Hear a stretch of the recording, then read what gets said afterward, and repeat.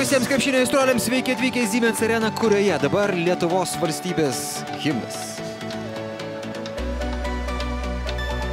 Taip, na, tiesiog palikom Avrakafalidį laisvą specialiai, panevežė Lietkabelį ir matėme, kaip Lietuvos rytas gana blankiai atrodė prienuose. Bre, Deivisas įmuša kamolį. Efektyvios treniruotės Lietuvos rinktinėje, Gedraičio metimas iš trijų taškų zonos.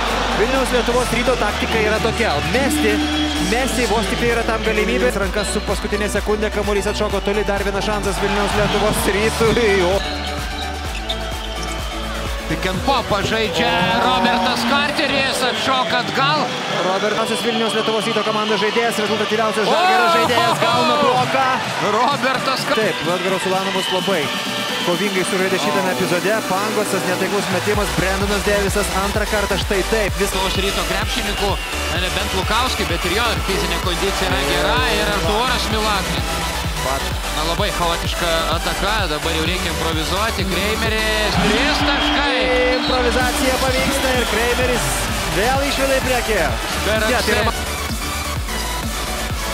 Oi, kaip čia gudriai pakėlė vieną koją. Kaip tau atrodo? Arkliukas e, staigus greitai išpolį, ypač tai pasakytina apie Lietuvos rytą, tačiau šį kartą nepavyko surenkti nie vienos rezultatyvios atakos. Jei kalbėtume apie Lietuvos rytą, netikėtumas tas, kad e, Robertas Kartės galbūt yra rezultatyviausias. Tai jog teisybė yra tokia, kokia ir turi būti.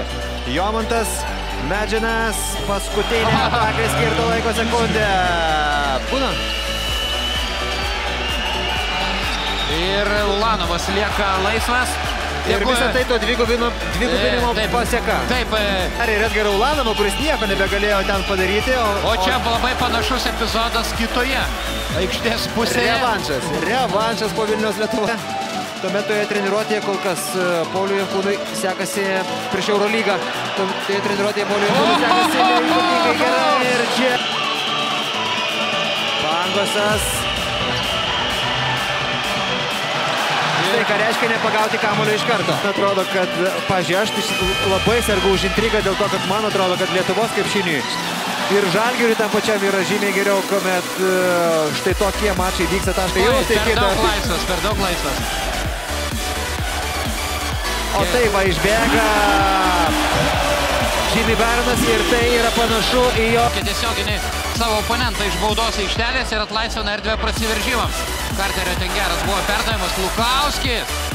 Lukauskis sustabdė Vilniaus Lietuvos ryto komandos perdavimų priekė keturiais taškais. Micičius.